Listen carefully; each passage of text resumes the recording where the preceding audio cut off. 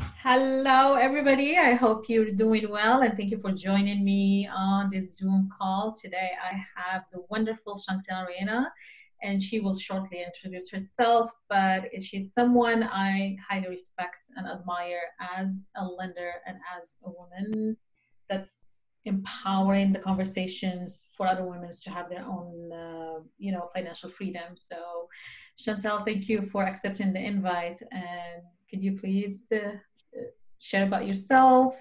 Yes, I'd love to. Thank you so much for that introduction. That was amazing. And I really appreciate you having me on today. Um, so, as Hind said, my name is Chantal. I am with Movement Mortgage. We are a direct lender, so we specialize in mortgage financing. I have been in the mortgage industry way too long. I've been doing this for about 15 years. Um, I bought my first property in my early 20s and I started to build a real estate portfolio. Then the market crashed in 2008, and that was a huge, huge learning experience for me. I was definitely overextended, um, but it was an experience that I would not change. Doing this the second time around, I was much smarter. Um, I approached the market a little bit differently, and I can say that now I have um, some properties that I'm, I'm really thankful for that have definitely set me up for my future. Um, and I mean, I just think that the, the real estate market is an incredible vehicle to be able to build that sort of wealth. And I think that's actually what speaks behind your passion about always teaching people about owning properties and building their own uh, um, finance free, financial freedom. So for today, I have a question for you. One of the things that I've been getting because of the COVID is how is the real estate market doing? And from us, you know, just your perspective as a lender, are you seeing any difference in the amount of loan applications before COVID, during COVID, and now? Yeah, so absolutely. What I will say is that things have shifted on the financing side since all of this has happened. Mm-hmm. So banks have always done a risk assessment, right? They analyze the amount of risk they're taking on when they're extending financing to a buyer. And now they are doing that even more so. So they're taking a step back.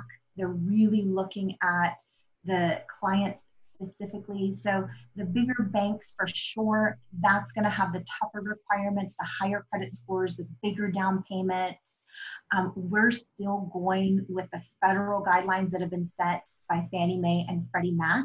That's the foundation. And then the banks have the option to add additional requirements, which are called overlays.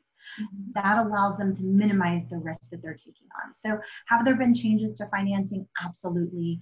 But we can still get you into a home with as little as 5% down we still have options for credit scores in the 600s.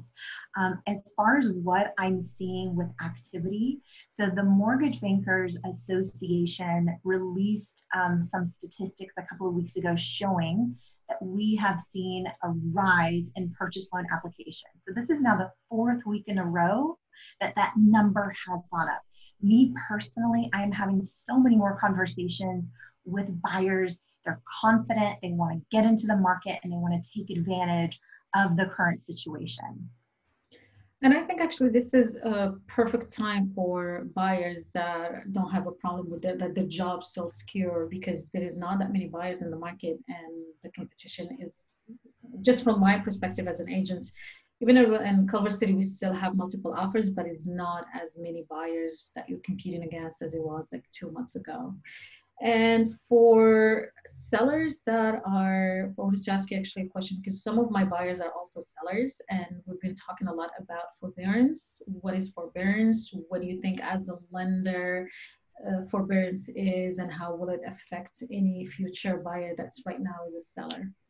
Yeah, so I think that there was a lot of um, mis conception when the forbearance came out. So we know that that's part of the CARES Act that the government had put in place that allows you to skip a payment if you've been affected by COVID. What it is not is forgiveness. So you are still responsible for those mortgage payments, whether it's skipping one month, two, or three. Every lender is handling it a little differently. So you'll want to speak to them directly on what it looks like, whether it's making a lump sum payment or tacking it onto the back of the loan or spreading it across the entire loan. Um, but what I really want people to know is that it can impact your ability to get financing moving forward. So whether mm-hmm. you're someone that's selling your home, trying to get a new purchase loan, or someone that's looking to refinance, there will be a note on the credit report showing that the loan has been in forbearance. And the waiting period right now is 12 months before you can get new financing.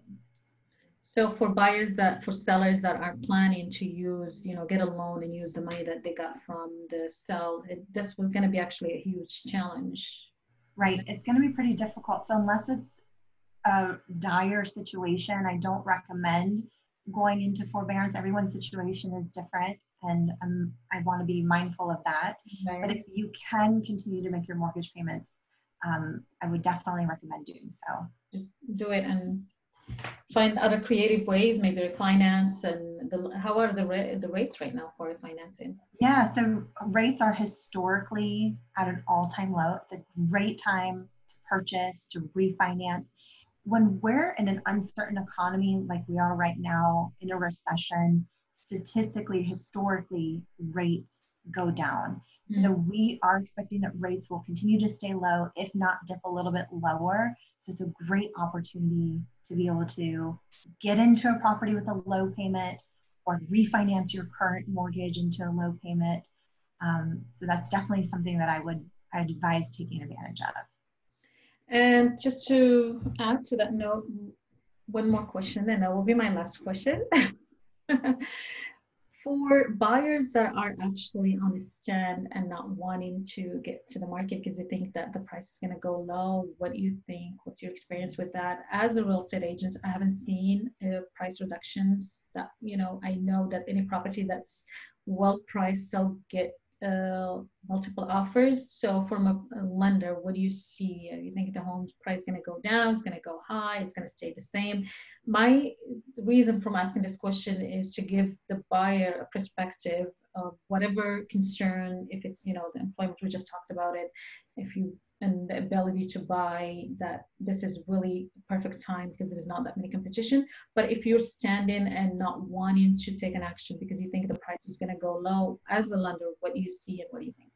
Yes i think that's a valid question i get asked that often from buyers that i'm i'm consulting with.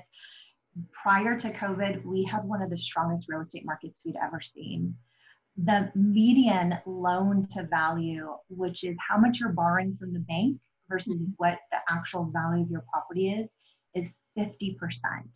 And here in the state of California, we have a huge percentage of homeowners that own their property free and clear, right. which means that that is going to keep the real estate market stable. It's a strong market we have very little inventory and we have buyers that want to get out there and buy a home.